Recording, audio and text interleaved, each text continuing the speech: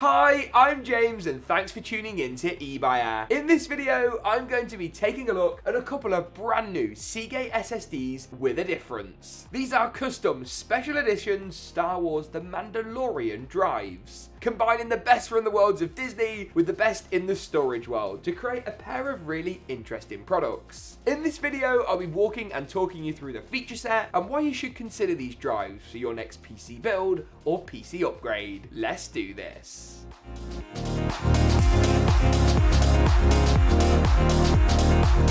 It goes without saying that both of these drives are currently available over at ebuyer.com, so don't waste any time, check out the links in the video description. I'm going to start off by looking at the M.2 form factor drive, the SSD that goes onto your motherboard as opposed to plugs in via a traditional SATA cable. This is based off Seagate's very reliable and incredibly highly rated FireCuda 530 design, bringing the best in Gen 4 NVMe speeds with a Star Wars twist. Now let's start off with the speed, shall we? Because for a prospective SSD buyer, they're definitely the most important feature. 7,000 megabytes per second on the read and over 6,000 megabytes per second on the write for the one terabyte capacity is a really, really impressive set of data. But don't just trust the Seagate datasheet. Oh no, here at eBuyer, we've done our own in-house testing and we'll pop the results on your screen now. Our testing was conducted with Crystal Disk Speed Test, which we'll link in this video's description. So you can test your current drive setup and see what kind of an upgrade this Star Wars Edition drive would be. Now, Seagate have partnered up in making this drive a bit more aesthetically interesting, but some of the changes changes go much further than just aesthetics alone. And the best way to start demonstrating this is to open up the drive itself.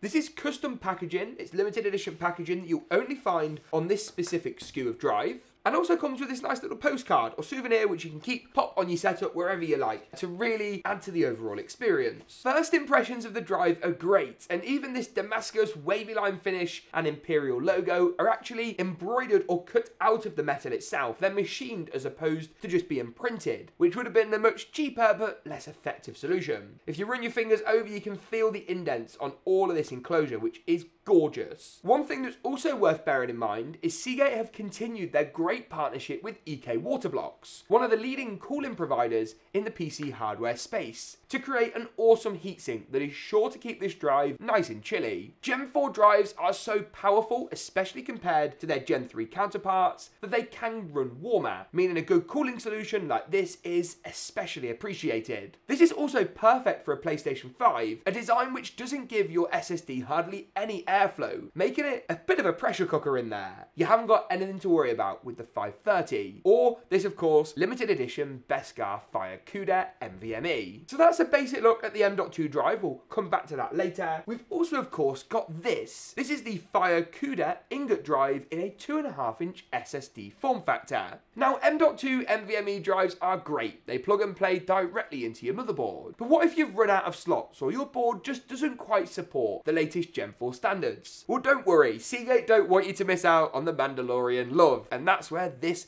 beauty comes in. I'm not sure this is exactly the correct way to open a limited edition box, but it's the only tool I've got and it will have to do. Let's go ahead then and remove this one. Packaging is very premium, but a bit tight to open if nothing else. Once again, you get this nice little pull tab, ribbon pull tab that we can reveal our drive. I like that a lot, actually. You can see the two of them side by side. The size difference probably stands out the most, but it's great to see the same design theme actually carried over. And heck, there's nothing stopping you from picking both of these drives up and actually actually having a full Star Wars Mandalorian storage setup. Oh yes. Now, much like the other drive, this also pushes the limits as far as the architecture it's built on goes. Using a SATA data connection, we're limited here to about 600 megabytes per second, just based on the limitations of the SATA technology. But Seagate haven't let that stop them. With read and write speeds over 550 megabytes per second, once again, don't just trust their datasheet, check out our in-house testing too. There are some impressive results on offer. The drive though does feel solidly built with a nice metal enclosure, no plastic SSD design here, which is great to see. And running on the SATA form factor means of course we can scale up with higher capacities and also run multiple of these without using too many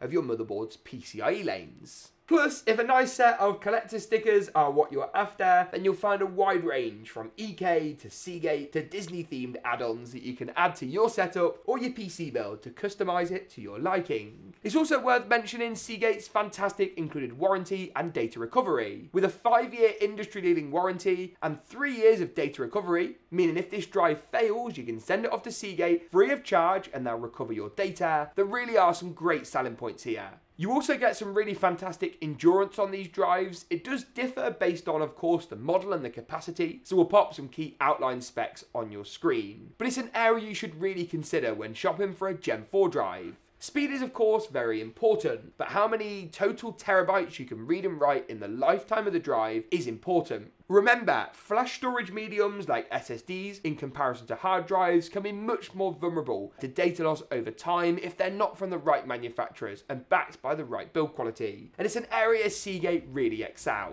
If you'd like to learn more about these drives or pick one up for yourself, please do head to the eBuyer links in the description of this video. They're really worth a look and are a unique add-on to your system that are also going to be fantastic for any of our Disney or Star Wars enthusiasts out there. Thanks for tuning in though, and as as always, we hope to see you soon.